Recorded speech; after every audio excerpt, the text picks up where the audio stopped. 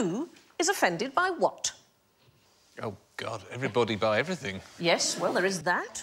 Anybody who reads a tweet and doesn't understand it immediately is offended by it. Yeah.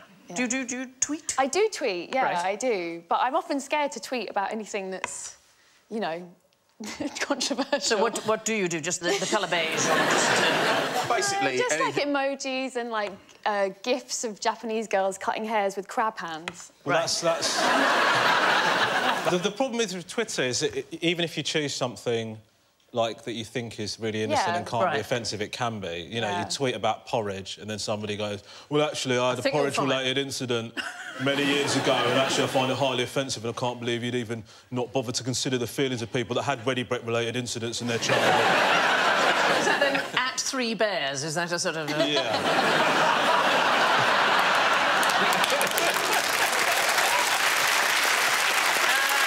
It's not, it's not, it's not Twitter related, so it's uh, more to do with who? Who is Is- offended by what? Yes. Um, doctor offended by Daleks. Uh, doctor is the right area, but Oh. not Doctor Who. Oh. It is to do with doctors. Oh, generally medical It practitioners. is a large organisation, as if we think of it as an acronym. World Medical Oh, Health. World Health The Organization. World Health Health Organization, absolutely right.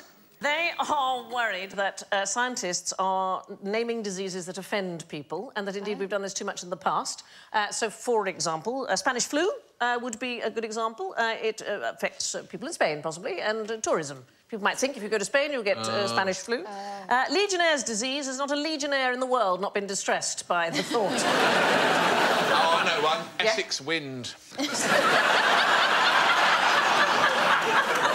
awful, isn't it, Phill? Terrible. It blows right up your about it. Thames corridor. There's Creutzfeldt-Jakob disease, which I imagine... I don't know who that would offend. People call Creutzfeldt. Jakob Creutzfeldt, I would imagine. Very offended. uh, swine flu, apparently. Very offensive to people who work with, uh, I don't know, pigs. Mrs. Um, Swine. Mrs. Swine. Swine is upset Um, about it. Trying to the idea is you're supposed to minimise uh, unnecessary distress. Uh, so, for example, if you called something sudden death syndrome, that's just too frightening. Hold on a sec. If you're about to die Yeah. imminently, Yeah. you can't just say something cuddly so they're not offended. Do you know what I mean, if they're going to die in the next 20 minutes, you can't just go, you just got the chills. Yeah. Just because you don't want them to No, but here's the thing. So doctors have certain acronyms, and I love these. There's SBI, which is something bad inside, and it means the doctor knows there's something wrong, but not entirely sure what it is. uh, SVBI, something very bad inside. Again, don't know what it is, but it'll definitely kill you. Uh, and there's loads for fat people. There's CBT, which is chronic biscuit toxicity. The best one for fat people is BW. Beached whale. And my favourite acronym, PRATFO. Patient reassured and told to F off.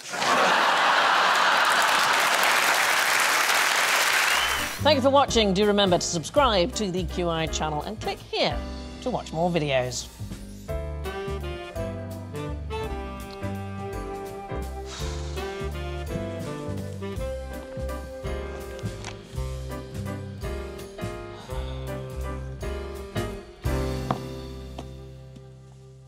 Please, come on, pick something.